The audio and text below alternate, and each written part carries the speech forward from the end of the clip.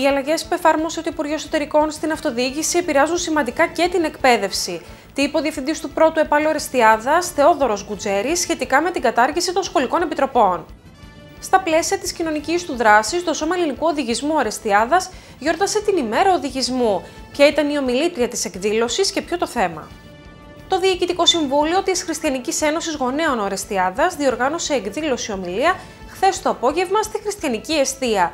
Ποιο ήταν το θέμα της ομιλίας; Αλλαγές ετοιμάζει το Υπουργείο Οικονομικών στις φορολογικές δηλώσεις. Τι ανέφερε ο Πρόεδρος του Συλλόγου Γολογιστών Φοροτεχνικών Βορείου Εύρου, Απόστολος Σταυρίδης. Κυρίες και κύριοι, χαίρετε. Δευτέρα 4 Νοεμβρίου σήμερα και είναι το κεντρικό δελτίο ειδήσεων της Δημοτικής Τηλεόρασης Ορεστιάδας. Οι αλλαγές που εφάρμοσε το Υπουργείο Εσωτερικών στην αυτοδιοίκηση επηρεάζουν σημαντικά και την εκπαίδευση, καθώς με την κατάργηση των σχολικών επιτροπών οι αρμοδιότητές τους μεταφέρονται στους αντίστοιχους Δήμους. Ο Διευθυντής του Πρώτου Επάλου Αρεστιάδα, Θεόδωρος Γκουτζέρης, αναφέρθηκε στη νέα διαδικασία αλλά και στα προβλήματα που αντιμετωπίζουν τα σχολεία πρωτοβάθμιας και δευτεροβάθμιας εκπαίδευσης παρελθόν αποτελούν πλέον οι σχολικές επιτροπές που είχαν την ευθύνη της εύρυθμης λειτουργίας των σχολικών μονάδων και διαχειρίζονταν τα χρήματα για την κάλυψη των αναγκών. Πρόκειται για τη δεύτερη μεγάλη αλλαγή μετά την κατάργηση των δημοτικών επιχειρήσεων που έφερε ο νέος νόμος στους Δήμους, που φορτώνονται άλλη μία αρμοδιότητα και η διαχείριση των χρημάτων από τις επιτροπές περνά εξ ολοκλήρου στην ευθύνη του Δήμου και κατ' επέκταση στο διευθυντή του κάθε σχολείου πρωτοβάθμιας και δευτεροβάθμιας εκπαίδευσης. Μετά το ερώτημά σας αυτό, θα ήθελα να ξεκινήσω από τη διαδικασία που υπήρχε είχε πριν και τι ισχύει σήμερα. Ε, οι σχολικές επιτροπές σε κάθε δήμο που ανήκουν μία για τη δευτεροβάθμια εκπαίδευση και μία για την πρωτοβάθμια εκπαίδευση ίσχυαν μέχρι 30 έκτου του 2024. Από 1 Εβδόμου του 2024 με απόφαση του Υπουργείου Ιστορικών καταργούν τα νομικά αυτά πρόσωπα όπως και άλλα πρόσωπα ε, της τοπικής αυτοδιοίκησης με αποτέλεσμα όλη αυτή η διαδικασία της διαχείρισης των λειτουργικών δαπανών των σχολικών μονάδων πρωτοβάθμιας και δευτεροβάθμιας εκπαίδευσης ανήκει πλέον στους Δήμους.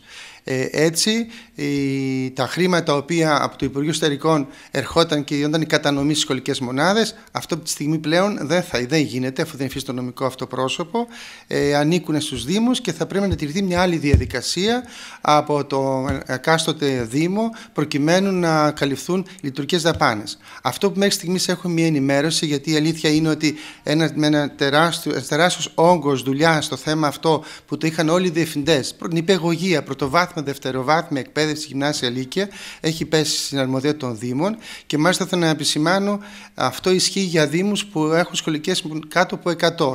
Δήμοι που έχουν σχολικές μονάδες πάνω από 100 υφίσταται το παλιό σύστημα.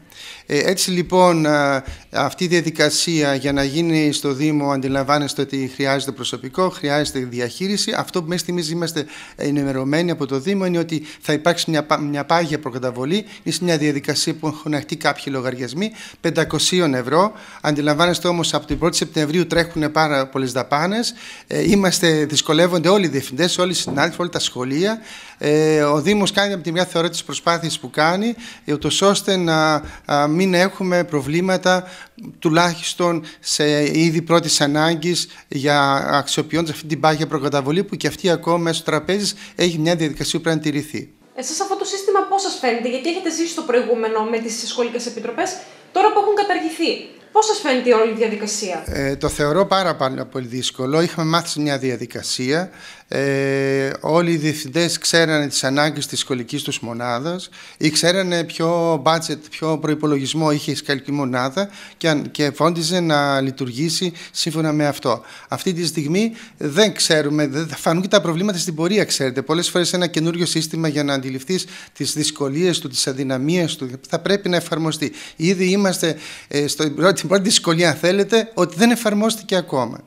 Λειτουργούμε ήδη από το Σεπτέμβριο, είμαστε αρχές Νοέμβρη, δεν εφαρμόζεται, δεν έχουμε ακόμα στα χέρια μας ούτε ένα ευρώ όλες οι, οι ανάγκες μας αντιμετωπίζονται καλή την πίστη των προμηθευτών μας που είναι τόσα χρόνια για να μπορούμε έτσι να καλύψουμε τις άμεσα άμεσα ανάγκες μας. Γιατί τα έξοδα τρέχουν του σχολείου, δηλαδή να φανταστώ από την αρχή της χρονιάς υπάρχουν πολλά πράγματα που πρέπει να καλυφθούν. Έχετε, έχετε δίκιο στο ερώτημά και μάλιστα απευθυνόμενοι σε ένα επαγγελματικό λύκειο, η σχολική μας μονάδα υπάρχει το εργαστηριακό κέντρο, αντιλαμβάνεστε τη διαδικασία της μάθησης πέρα από τη γραφική ύλη, είναι και ο εξοπλισμός, είναι τα υλικά που χρειάζονται στα εργαστήρια τα οποία συνδέονται άμεσα με την εκπαιδευτική διαδικασία.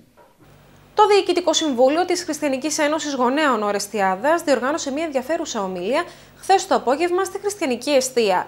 Το θέμα της ήταν Κύπρος 50 χρόνια μετά, η πόνη και η πόθη της ατόφιας Ρωμιοσύνη. Και ο μιλητής ήταν ο Κωνσταντίνος Βασιλείου Θεολόγος. Με μια ενδιαφέρουσα ιστορική αναδρομή στο πέρασμα των αιώνων, ο θεολόγος Κωνσταντίνος Βασιλείου μίλησε για την Κύπρο. Μίλησε για την εισβολή του Ατήλα, για την κατοχή των Τούρκων μέχρι σήμερα, που δυστυχώς συνεχίζεται εδώ και 50 χρόνια.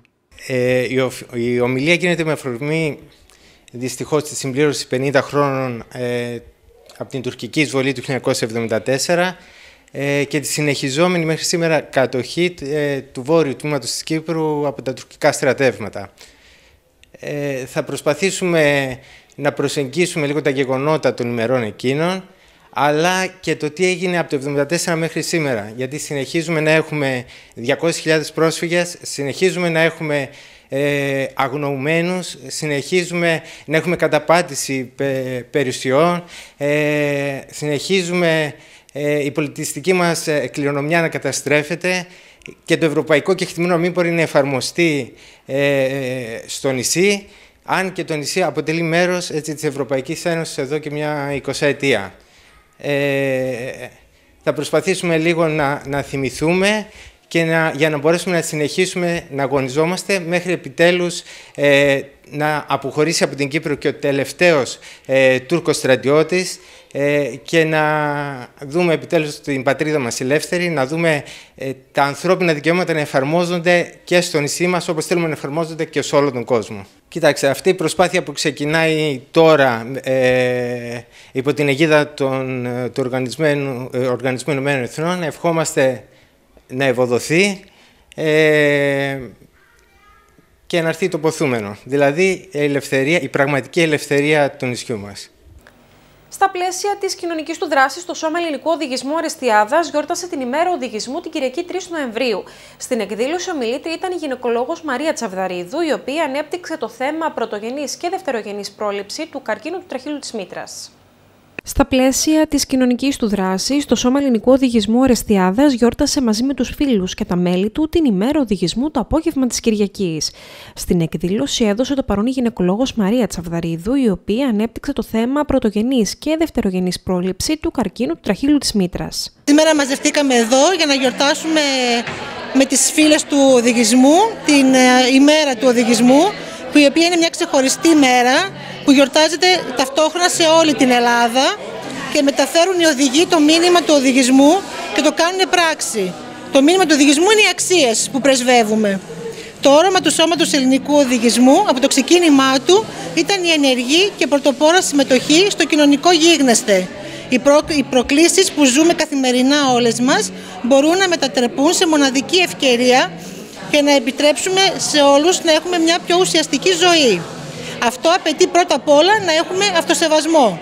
Με τις σκέψεις αυτές αποφασίσαμε να καλέσουμε και να έχουμε μαζί μας τη γιατρό και με ευτήρα κυρία Μαρία Τσαβδαρίδου για να μας μιλήσει για όλα αυτά που μας αφορούν σαν γυναίκες. Εγώ ήρθα εδώ πέρα για να μιλήσω για ένα θέμα που αγγίζει τις γυναίκες ε, όσον αφορά την, τον καρκίνο τραχυλού της μήτρας. Ε, πάμε λίγο να συνειδητοποιήσουμε τι γίνεται, τον αριθμό των θανάτων που υπάρχουν από τον καρκίνο στον τράχυλο, στον τράχυλο της μήτρας και πώς μπορούμε να δράσουμε τόσο σε επίπεδο ε, μαμάδων προστατεύοντας τα παιδιά μας, όσο και εμείς οι ίδιες, μέσω του εμβολιασμού, με τη δευτερογενή πρόληψη για το καρκίνο τραχύλου τη μήτρας. Ο οδηγισμός είναι μια παγκόσμια ανεξάρτητη εθελοντική κίνηση με παιδαγωγικό χαρακτήρα που απευθύνεται σε παιδιά και νέους. Αγόρια και κορίτσια αξιοποιούν τον ελεύθερο χρόνο τους μέσα σε ένα δημοκρατικό περιβάλλον αλληλεπίδρασης και δημιουργικότητας, μαθαίνουν διασκεδάζοντα και αποκτούν ικανότητες και δεξιότητες που θα τους φανούν χρήσιμες στην ενήλικη ζωή τους. Το Σώμα Ελληνικού Οδηγισμού ιδρύθηκε το 1932 από την Ειρήνη Καλιγά, έχει ενεργή παρουσία σε 90 πόλεις στην Ελλάδα και είναι μέλος της Παγκόσμιας Οργάνωσης Οδηγών και Κοριτσιών Προσκόπων. Στις αλλαγές που επίκυνται από το Υπουργείο Οικονομικών στις φορολογικές δηλώσεις, αναφέρθηκε ο πρόεδρος του Συλλόγου Λογιστών Φοροτεχνικών και Ελεύθερων Επαγγελματιών Βορείου Εύρου, Απόστολος Σταυρίδης. Κύριε Σταυρίδη, πολλές αλλαγές έρχονται όσον αφορά τις φορολογικές δηλώσεις που θα είναι ένα φόρτος εργασίας για εσά, αλλά και ένα πεδίο άγνωστο και για τους πελάτες σας. Θέλουμε λίγο να μας ενημερώσετε γι' αυτό, να πείτε ποιες είναι οι κυριότερες αλλαγές που επίκυνται όσον αφορά την φορολογία. Ε, οι αλλαγές ε, στη φορολογία είναι ραγδαίες τα τελευταία χρόνια. Ε, ωστόσο, τις επόμενες ημέρες θα κατατεθεί στη Βουλή ένα νέο φορολογικό νομοσχέδιο που θα περιλαμβάνει συγκεκριμένα μέτρα ε, όπως έχει ανακοινώσει και ο ίδιος ο Υπουργός από το Υπουργείο Οικονομικών. Ε, εκεί πέρα τα πιο σημαντικά σημεία του νέου φορολογικού έτσι, νομοσχεδίου που περιμένουμε είναι το σταθερό χρονοδιάγραμμα για την υποβολή των φορολογικών δηλώσεων, ε, το οποίο ε, λέγεται ότι θα είναι τετράμινο, σταθερό, θα ξεκινάει από 15 Μαρτίου και θα τελειώνει 15 Ιουλίου. Εδώ να τονίσω ότι το σταθερό χρονοδιάγραμμα για την υποβολή των φορολογικών δηλώσεων, χωρίς να ε, υπάρχουν και να ζητάμε παρατάσεις, ήταν ένα πάγιο αίτημα της Ομοσπονδίας μας, της ΠΟΦΕ και γενικότερα του κλάδου μας. Ε, γι' αυτό θεωρούμε ότι είναι μια κατάκτηση, ένα πολύ θετικό βήμα. Ε, για να επανέλθω πάλι στο σταθερό χρονοδιάγραμμα της υποβολής αφορικών δηλώσεων, είπαμε θα είναι τετράμινο, σταθερό, από 15 Μαρτίου μέχρι 15 Ιουλίου. Ε, δίνονται κάποια κίνητρα στους πολίτες ε, όσοι ε, εξοφλήσουν εφάπαξ τον φόρο τους μέχρι 31 Ιουλίου και έχουν υποβάλει τη δήλωσή τους τον πρώτο 1,5 μήνα να έχουν μια έκπτωση φόρου 4%. Όσοι έχουν υποβάλει τον επόμενο 1,5 μήνα 3% και όσοι έχουν υποβάλει τη δήλωσή τους τον τελευταίο μήνα ένα, μια έκπτωση 2%. Ε, η, μονιμοποιείται η καταβολή του φόρου για φυσικά και νομικά πρόσωπα σε 8 δόσεις. Η πρώτη θα είναι 31 Ιουλίου. Οι, οι προσυμπληρωμένες δηλώσεις θα έχουν όλες 4% έκπτωση φόρου εφόσον καταβληθεί εφάπαξ ο φόρος μέχρι 31 Ιουλίου. Ένα άλλο σημαντικό σημείο που περιμένουμε στο εν λόγω φορολογικό νομοσχέδιο ε, είναι και η, ε, η επιβολή προστήμων και κυρώσεων στους επικεφαλείς των φορέων του δημοσίου που δεν υποβάλλουν εμπρόθεσμα ή υποβάλλουν ανακριβείς δηλώσεις ε, για τα στοιχεία που χρειάζονται για την προσυμπλήρωση των δηλώσεων. Ε, εμείς ως λογιστές φοροτεχνικοί ε, ζητάμε εφόσον ανοίξει το σύστημα, το TaxNet 15 Μαρτίου, μέχρι τις 14 να είναι όλα έτοιμα, δηλαδή να έχουν εκδοθεί οι, οι αποφάσεις για τη συμπλήρωση των δηλώσεων, τα νέα έντυπα και οι εταιρείες μηχανογράφησης που μας υποστηρίζουν να είναι και αυτές ε, έτοιμες, να έχουν προσαρμόσει δηλαδή τα λογισμικά τους. Ε, τα προηγούμενα χρόνια είχαμε το εξής πρόβλημα, να υποβάλουμε δηλώσεις και κατά τη διάρκεια και λίγο πριν τη λήξη των φορολογικών δηλώσεων, ορισμένοι φορείς όπως ο ΕΦΚΑ, ο ΕΟΠ ε, και διάφοροι άλλοι να αλλάζουν τις βεβαιώσεις ε, αποδοχών των φορολογουμένων και χωρίς να υπάρχει κάποια ενημέρωση και έτσι οι φορολογούμενοι να πρέπει να κάνουν τροποποιητικές και ενδεχομένως να έχουν και κάποια πρόστιμα. Αυτό πάει να λυθεί, όπως προείπα, με την επιβολή κυρώσεων και προστήμων. Λέγεται ότι θα είναι 2.500 ευρώ για τους επικεφαλείς των φορέων, όπως είπα μπορεί να είναι ο ΕΦΚΑ, ο ΕΟΠΗ, οι Δήμοι, οι Περιφέρειες, έτσι, ε, οποιαδήποτε νομικά πρόσωπα του Δημοσίου και θα είναι ένα καλό αντικίνητρο ε, για την ε, χαλαρή έτσι, ε, διάθεση που υπάρχει στην υποβολή των συγκεκριμένων αρχείων και βεβαιώσεων. Όπως είπατε κύριε Σταυρίδη, αυτό το ζητούσατε πολύ καιρό γιατί αυτέ τις αλλαγές πιστεύετε ότι θα τις αφομοιώσουν, να τις ασθενιστούν πιο εύκολα οι οι πελάτες σας. Δηλαδή, έχει γίνει κατανοητό ότι αυτό εξυπηρετεί και εσάς αλλά και τους πελάτες, ή θα υπάρχουν δυσκολίες; Ε, θα δούμε πώς θα εφαρμοστεί την πρώτη χρονιά, ε, η οποία θα είναι το 2025, μιλάμε για τα εισοδήματα το 2024. Ε, θα πρέπει να εμπεδοθεί στον κόσμο, ε, σε όλους μας, ότι δεν θα υπάρχει πλέον η λογική των παρατάσεων. Θα είναι ένα αυστηρό, σφιχτό χρονοδιάγραμμα τεσσάρων μηνών. Και εφόσον όλα λειτουργούν ρολόι, δεν θα υπάρχει λόγος για ε, μετάθεση της καταληκτικής ημερομηνίας. Ένα άλλο σημαντικό μέτρο που περιμένουμε στο νέο φορολογικό νομοσχέδιο που αναμένεται να κατατεθεί στη Βουλή ε, είναι και αφορά το ελάχιστο ετήσιο τεκμαρτό εισόδημα για τις ατομικές επιχειρήσεις. Εδώ αν θυμάστε είχαμε μία μείωση 50% ε, για οικισμούς έως 500 κατοίκους αυτό θα ανέβει και θα πάει μέχρι 1500 κατοίκους, δηλαδή χωριά, ε, οικισμοί οι οποίοι έχουν κατοίκους μέχρι 1500 θα έχουν μείωση 50%, 50% στο ελάχιστο τεκμαρτό εισόδημα ε, από, ε, από την άσκηση της ε, ατομικής τους επιχείρησης. Είχαμε και στην περιοχή μας τέτοιες περιπτώσεις όπου ενέπιταν στο, στο νόμο αυτό χωριά. Περιοχής. Ναι, ε, εδώ ενδεχομένως χωριά όπως το Φυλάκιο, όπως ε, τα Ρίζια Καστανιές για παράδειγμα, θα υποφεληθούν από το συγκεκριμένο μέτρο. Επίσης, όσοι φορολογηθούν με το ελάχιστο τεκμαρτό εισόδημα από την άσκηση επιχειρηματικής δραστηριότητας, δεν θα επιβαρυνθούν επιπλέον και με το τέλος επιτιδεύματος το οποίο ε, πέρσι ε, ανερχόταν στα 325 ευρώ. Ε, είμαι στην πολύ ευχάριστη θέση να ανακοινώσω την προοπτική συνεργασίας του συλλόγου μας, του Συλλόγου Λογιστών Φοροτεχνικών Ελευθέρων Επαγγελματιών Βορείου Εύρου, με το Ινστιτούτο Οικονομικών και Φορολογικών Μελετών. Ε, εδώ πέρα θέλουμε ε, να κάνουμε μια συνεργασία, μια σύμπραξη επιστημονικών φορέων ε, με σκοπό το κοινό καλό. Ε, για να είμαι και πιο ακριβής. Ο, ο κύριος Κορομιλάς είναι ο πρόεδρος του ΙΟΦΟΜ, του Ινστιτούτου Οικονομικών και Φορολογικών Μελετών, είναι φίλος του συλλόγου μας, είναι εισηγητής σεμιναρίων όπου μας επισκέπτεται τακτικά κάθε χρόνο ε, και υπήρχε η πρόταση να συντάξουμε μια ολοκληρωμένη μελέτη που θα περιλαμβάνει φορολογικά κίνητρα, εργασιακά και γενικότερα αναπτυξιακά κίνητρα για την ευρύτερη περιοχή του Βορείου Εύρου, για τον Δήμο Δημοτήχου, τον Δήμο Ορεστιάδα, ε, η οποία θα είναι εμπεριστατωμένη και κοστολογημένη. Θα έχει υπολογιστεί δηλαδή και ο δημοσιονομικός αντίκτυπος ε, που θα έχει το κάθε μέτρο που εμείς θα προτείνουμε. Θα είναι μια συλλογική προσπάθεια. Ε, ο σύλλογος μας θα έρθει σε επικοινωνία και με τους υπόλοιπους φορείς ε, και είμαι πάρα πολύ ενθουσιασμένος για αυτήν εδώ την προοπτική συνεργασίας. Είμαστε δηλαδή ε, τις επόμενες μέρες έτοιμοι να υπογράψουμε ένα μνημόνιο συνεργασίας μεταξύ των δύο φορέων για την υλοποίηση αυτού του πολύ έτσι, φιλόδοξου project. Από τα γραφεία τύπου των Υπουργείων Εθνικής Οικονομίας και Οικονομικών και Ψηφιακής Διακυβέρνησης ανακοινώθηκε ότι είναι ανοιχτή πλέον για όλες τις περιοχές της χώρας η ηλεκτρονική πλατφόρμα για την υποβολή αιτήσεων για την εξαγορά διακατεχόμενων ακινήτων του δημοσίου από ιδιώτες. Στόχος είναι να επιληθεί το ιδιοκτησιακό καθεστώς ακινήτων σε περιπτώσεις που αυτό δεν είναι ξεκάθαρο, να προστατευτεί η περιουσία του δημοσίου και να ενισχυθούν τα δημόσια οικονομικά μέσω της εισρωής σημαντικών εσόδων στον κρατικό προπολογισμό. Ανοιχτή πλέον για όλες τις περιοχές της χώρας είναι η ηλεκτρονική πλατφόρμα για την υποβολή αιτήσεων για την εξαγορά διακατεχόμενων ακινήτων του δημοσίου από ιδιώτες. Στόχος είναι να επιληθεί το ιδιοκτησιακό καθεστώς ακινήτων σε περιπτώσεις που αυτό δεν είναι ξεκάθαρο, να προστατευτεί η περιουσία του δημοσίου και να ενισχυθούν τα δημόσια οικονομικά μέσω της εισρωής σημαντικών εσόδων στον κρατικό προπολογισμό.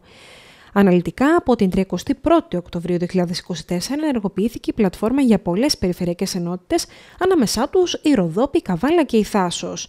Υπενθυμίζεται ότι η αιτήσεις εξαγοράς των ακινήτων έχει ξεκινήσει στις 30 Σεπτεμβρίου 2024 για τις περιφερειακές ενότητες Ετωλοκαρνανία, Αρκαδίας, Εύρου, Ευεία, Ηρακλείου, Ιωαννίνων, Καρδίτσας, Κέρκυρας, Λάρισας, Λασιθίου, Λέσμου, Μαγνησίας, Ξάνθης, Πιερίας, Ρεθύμνου, Σάμου, Τρικάλων, Φθιότητα, Χανίων και Χίου. Η δυνατότητα υποβολής αιτήσεων για τις περιοχές αυτές λήγει στις 30 Σεπτεμβρίου 2025. Συνελήφθη χθες, Κυριακή 3 Νοεμβρίου, το πρωί σε αγροτική περιοχή της Ορεστιάδα από αστυνομικούς του τμήματος Συνοριακής Φύλαξης Ορεστιάδα ένας αλλοδαπός, διότι όπως προέκυψε, μετέβη στην περιοχή οδηγώντας ταχύ αυτοκίνητο με σκοπό να παραλάβει και να μεταφέρει παράνομα προς το εσωτερικό της χώρας μη νόμιμου μετανάστες έναντι χρηματικής αμοιβής. Κατασχέθηκαν το όχημα και ένα κινητό τηλέφωνο. Ενεργείται προανάκριση από το τμήμα Συνοριακής Φύλαξης Ορεστιάδα.